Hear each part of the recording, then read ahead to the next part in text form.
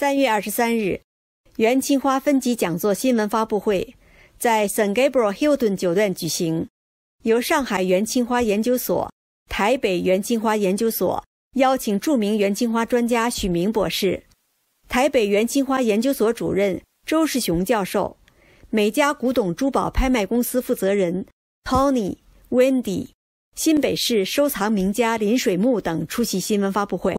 上海元青花研究所。许明博士来这里，来举行这个元青花的这个分级讲座。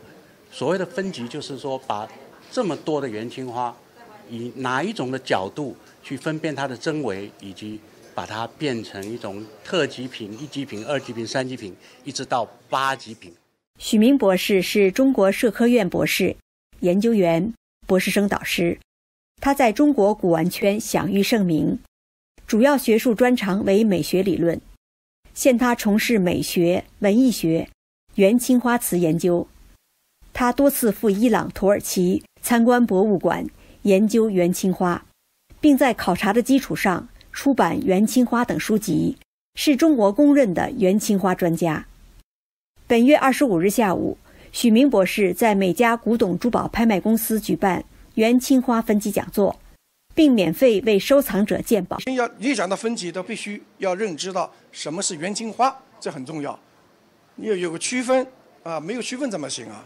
呃，讲座很丰富的啊，这因为我们有考察的技术，有到伊朗、到土耳其、到窑址啊，生产的具体的生产地点考察的技术，同时我们有实物的研究，有几十年的实物的研究的经验啊，这一点很重要。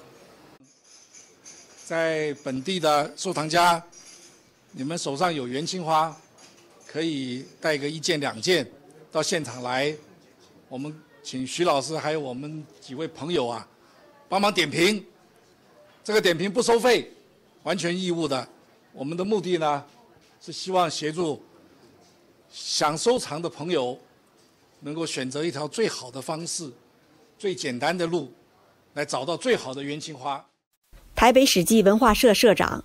台北元青花研究所主任周世雄教授也在发布会上向媒体介绍了元青花瓷的文化价值、文物价值和收藏价值，以及元青花瓷制作的工艺。本周日下午一点至三点，由许明主讲元青花分级讲座；三点到四点，为出席讲座的当地收藏家的藏品点评鉴宝，通过实物鉴赏普及元青花瓷的知识和鉴定方法。全美电视台记者采访报道。